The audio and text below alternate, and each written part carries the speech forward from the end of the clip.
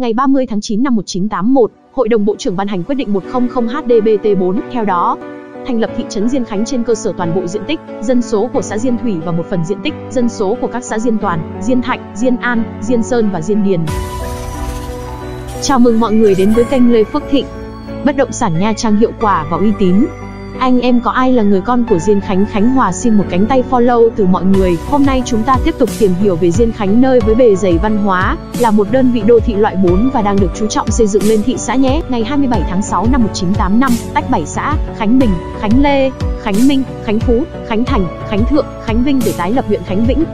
Huyện Diên Khánh còn lại thị trấn Diên Khánh và 19 xã, Diên An, Diên Bình, Diên Điền, Diên Đồng, Diên Hòa, Diên Lạc, Diên Lâm, Diên Lộc, Diên Phú, Diên Phước, Diên Sơn, Diên Tân, Diên Thạnh, Diên Thọ, Diên Toàn, Diên Xuân, Suối Cát, Suối Hiệp, Suối Tân.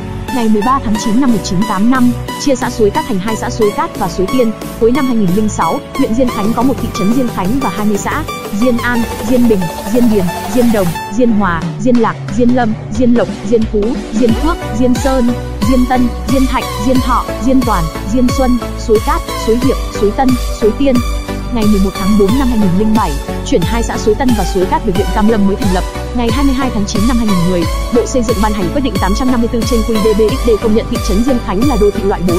Ngày 11 tháng 2 năm 2020, Ủy ban Thường vụ Quốc hội ban hành nghị quyết số 894 trên NQ đến UBTVQH14 về việc sắp xếp các đơn vị hành chính cấp xã thuộc tỉnh Khánh Hòa.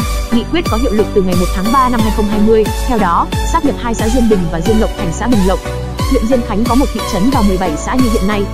Ngày 2 tháng 3 năm 2021, Bộ Xây dựng ban hành quyết định 220 trên QĐ-BXD công nhận đô thị Diên Khánh, gồm toàn bộ một thị trấn và 17 xã thuộc huyện Diên Khánh là đô thị loại 4 trực thuộc tỉnh Khánh Hòa. Vượt qua thời gian chống dịch Covid-19 chúng ta cùng nhìn về những dấu hiệu tích cực của thị trường lớn mạnh Diên Khánh. Các phân tích mổ sẽ chi tiết sẽ được thực hiện. Mọi người nhớ follow kênh Lê Phước Thịnh Bất động sản Nha Trang để đón xem nhé.